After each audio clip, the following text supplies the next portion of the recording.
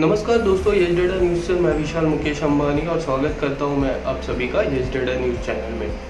तारक मेहता के उल्टा चश्मा की कलाकार बबीता जी, यानी मुनमुन दत्ता, पिछले कई दिनों से चर्चा में है। मुनमुन दत्ता ने अपने यूट्यूब चैनल पे ऐसी बात की जिसकी वजह से काफ़ी वो चर्चा में रही है पिछले कई दिनों से।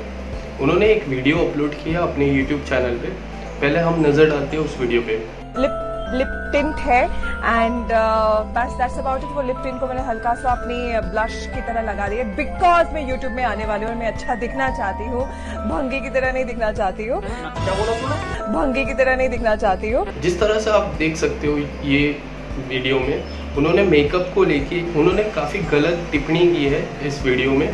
तो इस चीज़ को लेके उनके ऊपर काफ़ी आरोप लगाए जा रहे थे जिसको फिर उन्होंने माफ़ी भी मांगी अपने सोशल मीडिया पे। और अब हरियाणा में उनके ऊपर एफआईआर दर्ज हो गई है। दोस्तों, क्या आपको लगता है कि ये सही है या गलत है? नीचे कमेंट सेक्शन में ज़रूर बताइए। क्या उनके ऊपर एफआईआर दर्ज होनी चाहिए थी? उन्होंने माफ़ी भी मांगी थी बट अब उनके ऊपर एफआईआर दर्ज हुई है हरियाणा में। आगे क्या होता है इस बात को लेके? हमारे साथ बने रहिए।